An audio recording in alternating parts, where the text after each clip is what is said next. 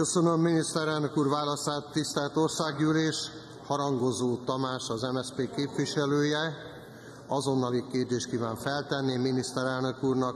Aktuális kérdésekről címmel öne a szó, képviselő úr. Köszönöm a szót, elnök úr, tisztelt országgyűlés, miniszterelnök úr. A járvány első hulláma úgy tűnik, hogy lecsengőben van hazánkban is, és hála Istennek itt közép-kelet-európában sokkal kevesebb intenzitással zajlott, mint néhány dél-európai vagy nyugat-európai országban. Ezért azt gondolom én is, hogy itt az ideje megnézni, hogy a kormány és ön milyen döntéseket hozott, időben hozta -e ezeket, és valódi segítséget nyújtottak-e ezek, vagy nem.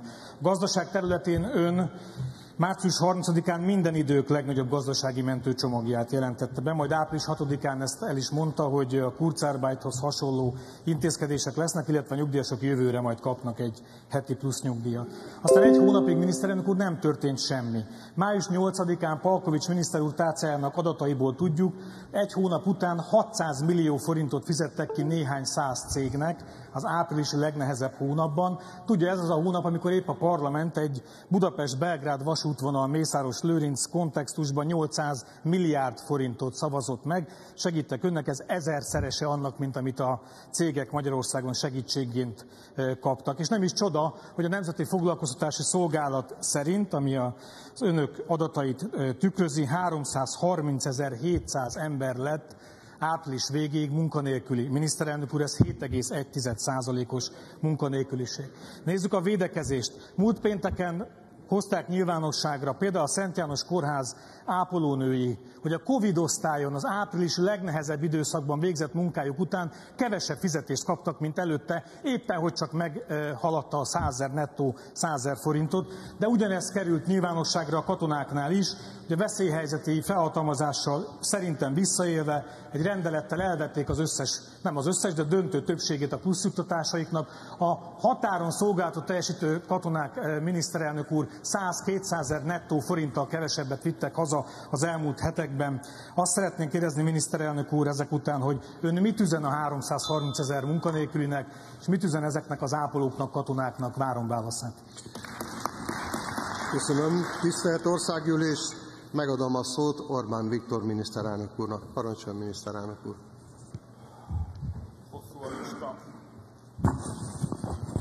A lista, tisztelt képviselőtársam, először is július 1-ével kifizetjük az 500 ezer forintot az egészségügyi dolgozóknak. Ha pedig arra az egy mondatra egyszerűsítjük le az ön vádbeszédét, hogy mit üzenek azoknak, akik elveszítik a munkahelyüket, azt üzenem, hogy forduljanak hozzánk. Minden egyes munkahelyét elvesztett ember, ha úgy látja, hogy a munkanélküli segély időtartamának elteltével már nem jut munkához, forduljon hozzánk. Mindenkinek adunk munkát. Segély helyett adunk olyan munkát, amely segíti őket abban, hogy a munkaerőpiacon maradjanak, és ismét jó állásokhoz juthassanak. Az igazság az, hogy nem túl szívzelítő ugyanazt a dolgot kétszer elmondani, de hát kénytelen vagyok. Az előbb ismertettem önnel, hogy milyen gazdaság védelmi lépéseket tettünk, és ezek összességben több mint egy millió embert értek el.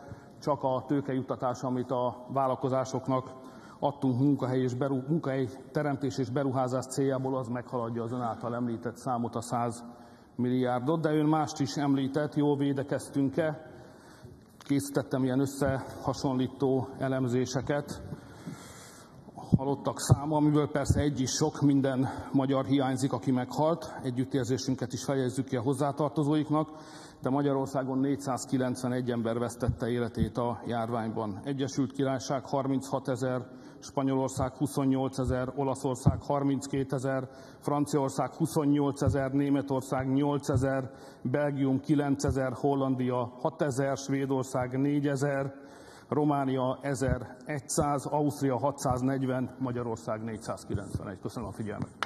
Szépen. Megköszönöm miniszterelnök úr válaszát, viszont válaszol megadom a szót. Parancsoljon. Köszönöm a szót, elnök úr, miniszterelnök úr, én ezekbe a számokban nem véletlenül nem mentem bele, azt mondtam, hogy örülünk.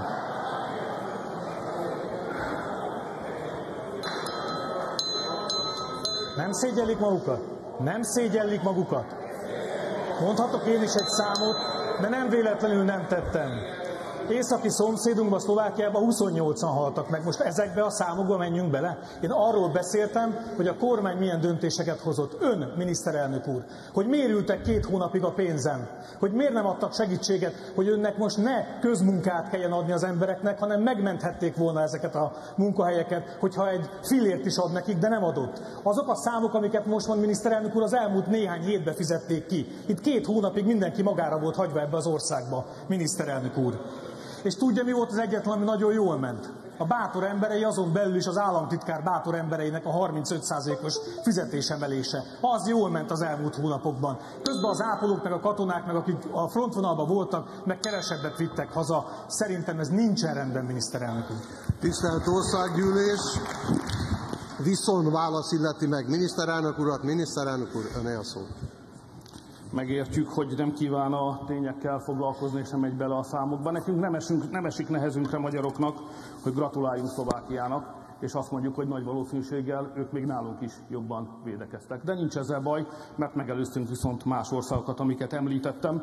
Ellenben, hogy mindent időben intézkedésként meghoztunk, ami a gazdaságot illeti emlékeztetném önt arra, hogy három hónapig Magyarországon minden munkahelyét elvesztett ember álláskeresési támogatást kap, amit munkanélküli segélynek hívnak három hónapig. Utána következik az időszak, amikor a kormánynak be kell avatkoznia, és ez meg is történt, meg is fog történni. Összevetés más metszetekben. Veszélyhelyzet kihirdetése Magyarországon a hetedik napon történt meg, Olaszországban a 38. napon. Iskolátogatás tiltása Magyarországon 12. napon, a fertőzéstől számított 12. napon, Ausztriában 21. Olaszországban a 34. napon. A határzárat Magyarországon én a 13. napon rendeltem el, Ausztriában a 24. nap, Spanyolországban 45. nap, Svédországban 48. nap, Franciaországban 56. nap. Nem lottó nyertük a sikeres védekezést, az egész ország, ideértve a kormányt is, jól tette a dolgát. Köszönöm szépen.